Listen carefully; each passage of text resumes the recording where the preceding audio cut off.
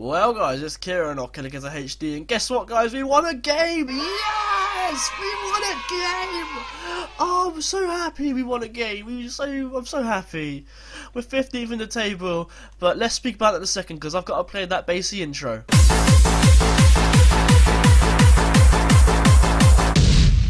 Look, there's three green wins! Oh, it's so beautiful. We won three games, we've lost three games, but let's talk about the win first. We won 2-0 at home to Crawley Town at the Field Mill, the One Call Stadium, whatever. We won 2 0. Stephen Hewitt scored from the penalty spot in the 73rd minute to give us the lead, and Adi Yussuf scored in the 76th minute to give us the, the win. We deserved it. We were more clinical on the day. Look at the possession stat. We bossed it. We absolutely bossed it. Unbelievable performance by the lads, and then we lost. Yeah, it happens.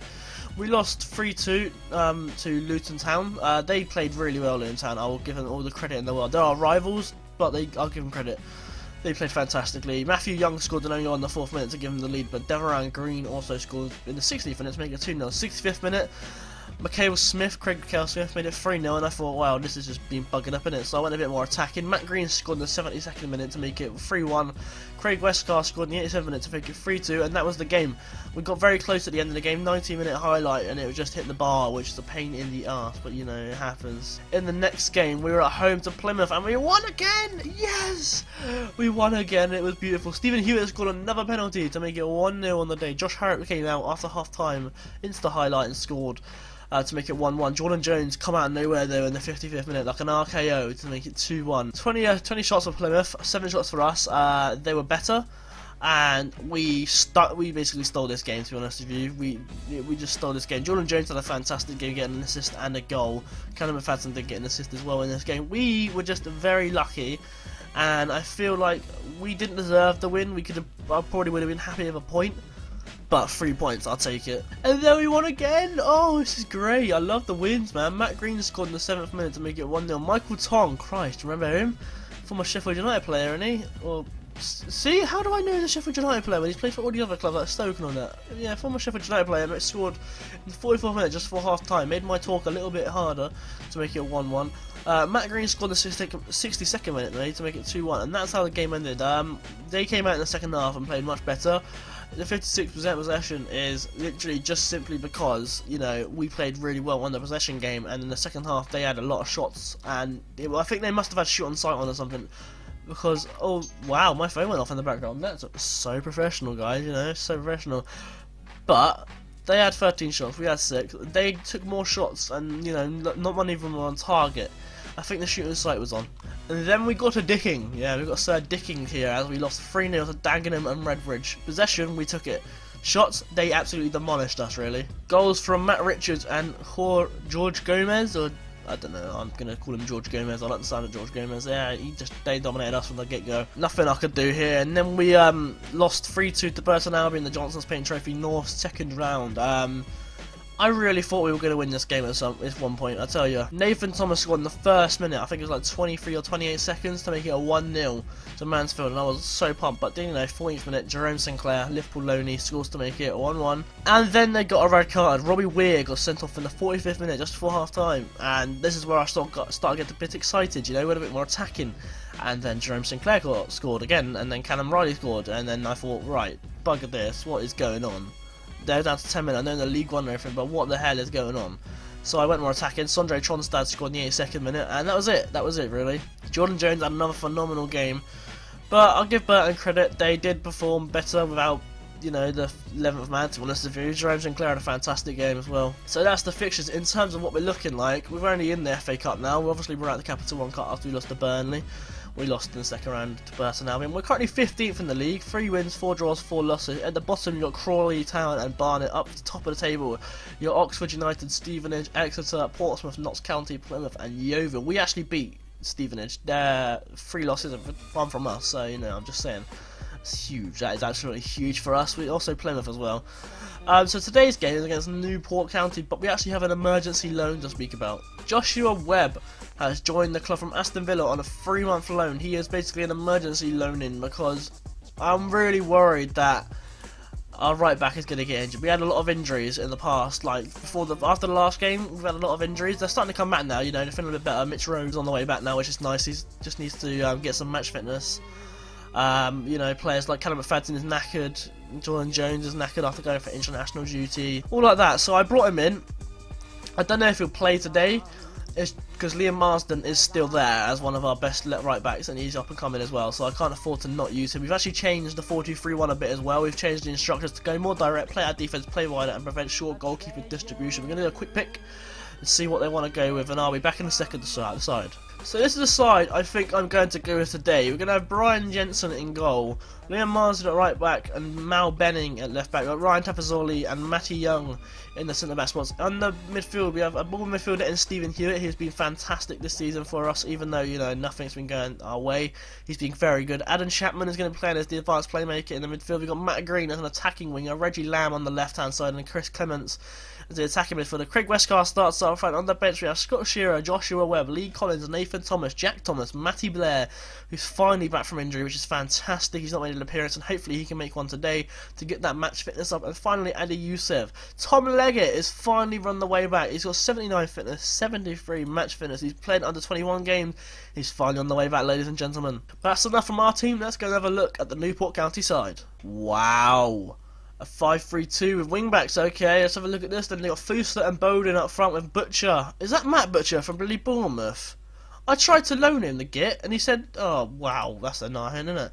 They got Matt Butcher, Lauren, and Byrne.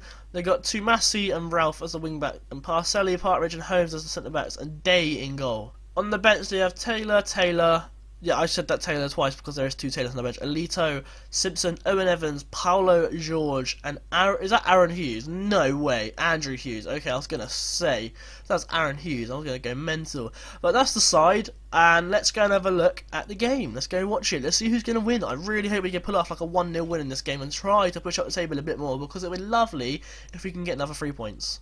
Newport County have kicked off this game, and to be honest, they, uh, where are they? In 12th with 16 points. I don't know about this game. They could come out of nowhere, this Newport County side, but we could also come out of nowhere considering the form we're on. We're on a very uh, bouncy run of form, you know, losing and winning and drawing everywhere. I think we might get the win here. I've got a sneaky suspicion that we might get a winner as Matty Green plays down the right hand side. Can he get a ball in? He can. It's intercepted. Ralph gets a tackle by Green. Clements to Stephen Hewitt. Matty Green puts on the right hand side to Liam Marsden. Can he whip in the ball? He puts it outside the air to Adam Chapman. To Stephen Hewitt. Back out to Marsden. Can he get a ball in? Marsden whips it into Matty Green, and the ball into Reggie Lamb, and it's off the side netting. It's a goal kick, very close. Day with a goal kick, gets it as far as Chapman, who heads it down to Green. Can we get another pass away? Gets to back to Adam Chapman, to Stephen Hewitt. Do you know what? I really want to try and sign Stephen Hewitt on a on a permanent transfer when it comes down because he's been fantastic. Reggie Lamb, Reggie Lamb, Reggie Lamb. Oh, ref, call a penalty there, mate. Byrne to Fuster. Matthew Young makes a huge tackle. The reason we lost to Burton Albion was because of Matthew Young, by the way. He made a really big error in the final goal. Really pissed me off. Reggie Lamb Gets a pass to Stephen Hewitt. He's on fantastic form. Reggie Lamb again puts it to Mal Benning. Whips it in. Oh, save makes a wow. Day makes a save. But Matt Green makes the goal, and it is 1 0 to Mental Town. We move up to 12th. That is a huge goal in our season. Reggie Lamb puts the ball to Mal Benning on the left hand side, whips it in, and Day just tries to save it. And Green takes uh, the opportunity to score here. I don't know. I don't know how to describe that goal. He whips the ball in for a cross. The keeper tries to catch it, dives for some reason, and then Green scores. It's a bit of a weird one, isn't it? But look at the stats. The, the way we've reorganised this tactic seems to be working a lot. We're getting a lot more. We're getting a lot more possession. Shots are coming far, few and far between. And we're getting goals though, which is nice. Stephen Hewitt on the ball now gets a pass to Chris Clements. Can he get a pass away? He gets the Red Westcarr, and it goes wide. Matthew Green has picked up an injury. Our, our big striker who got the goal. Um, he's playing as a winger today. He actually got injured. So what we're gonna do? Um, can Reggie Lamb play better as a left back or like left midfielder or right midfielder? Because I know what I want. Matty Blair, mate, on Nathan Thomas. Oh, we're play- do you know what? Matty Blair, you get your ass in this game. Why the bloody hell not? Matty Blair, mate, do it. Do it for the kids. I don't know. Do it for the kids. I don't even know, mate. Go on, Matty Blair. You're back on from injury. You've been gone for ages. Make yourself known in this side, mate. Go and bloody do that for me. And it is half time and it is 2 0. And I'm going to be honest, we are playing pretty bloody well. I'm pleased how things are going. Go and keep it up, lads. But look at the fitness. look at the fitness. We're not doing too well. Changes are going to be coming very quickly, I think. Chris Clements will probably be coming off at some point, and maybe if I look around, maybe the ben, uh, maybe the um, the defender, sorry, Tafazolli's not looking too healthy at the moment uh, in terms of fitness. Maybe uh, Stephen Hewitt. I don't know. We'll get into the second half. We're playing fantastically. We, I think we deserve the win at the moment, but as we know with FM. Uh, that doesn't happen. It just doesn't matter if you deserve the win. It's not going to happen for you. Reggie Lamb cannot whip a ball in. That is going to be the highlight. Caught, um, free kick whipped in. Oh, what a save by Jensen. Holmes offside. That was very close, and I'm going to make my third, uh, my second change in the game. Sorry, because Chris Clements is now struggling very much. So, so what we're going to do is put Adam Chapman up in the advanced play. Wait, you can't play there? I thought you could play there. You played there a lot. I've played in there before. Okay, well, Jack Thomas is going to play up there. You play as an attacking shadow striker. Ooh, let's do that. Why not? Why the bloody hell not? I'd never used him as a shadow striker before. I didn't even know he could play there. Oh my word, let's do that. Day with a goal kick, gets it as far as Fuster, Young heads it to Chapman, to Stephen Hewitt, to Jack Thomas. Go on, boy, get a pass away. Go on, Thomas. Puts on the left hand side to Amasi, intercepts Bowden on the ball now for Newport County, puts on the left hand side to Ralph, whips it into Fuster, and it's 1 1. And Bradley Fuster makes it 1 1. Newport County score, and we drop down to 16th now.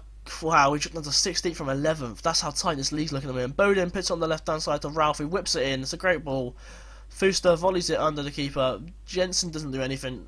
It's 1 1. Final change in the game, I'm going to be taking off Ryan Tafazolli and bringing on Lee Collins, and then I'm going to put Lee Collins as a uh, um, central defender on defend because I'm going to try and see this game I'm going to go control, see if that makes anything uh, happen for us, and see if we can get a second goal and try and win this game. 91 minutes gone now. I think this is going to be full time unless something happens here. Chapman's a Reggie Lamb. Reggie Lamb with a shot and it goes wide, and that is going to be full time. It's a 1 1 draw. At the start of the day, I would have taken it. But I think we played well enough to say, you know, that we deserved the win. I'm going to say unlucky, boys. It wasn't our day. Newport County did, you know, come out of nowhere and score. I think we deserve the win here. To be honest with you, I think we played quite well. There's shows now that the new tactics, the new the new instructions on the 4-2-3-1 are starting to work a bit. We're currently 15th now with 14 points. That's our fifth draw of the season already. We haven't got as much as New York City and Morecambe. Don't worry about that, or Dagenham and Redbridge. But it's another draw. I really like to win. I really would have liked to win. Here are the results from all the other sides. Exeter City in second are absolutely dominating at the moment. No goals this time from... Oh, no, sorry. There is goals from Tom Nichols. He's got a brace this time. Exeter City are killing it in the league at the moment. Unbelievable. Newport County are hold out for a draw. England qualify for the Euros. Okay, I don't want to know about that. Matt Green is out for four to five weeks. I that's a big loss for the side. That is really a big loss. He's been performing quite well considering, you know, he's been doing quite well.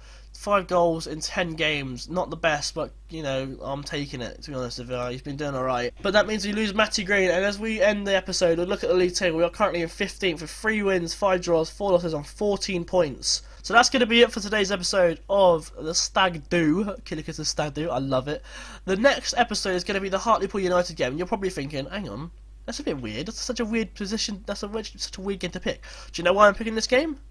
I am picking this game because on Saturday, the 21st of November 2015, I am going to this game in real life, so I can probably mix in some clips or some pictures, you know, of the real game, and we'll probably lose in real life because we're on um, a crappy run of form. To be honest with you, we haven't scored in four games, but I think it's a fun game to play. I know it's 42 days away and everything, but I think it's a fun game to play. So I hope you enjoyed this episode of Killing Kids of Stag Do. If you did, leave a like, and if you didn't, someone in the comments down below. And I will see you all very soon for another episode of Killing Kids of Stag on Football Manager 2016.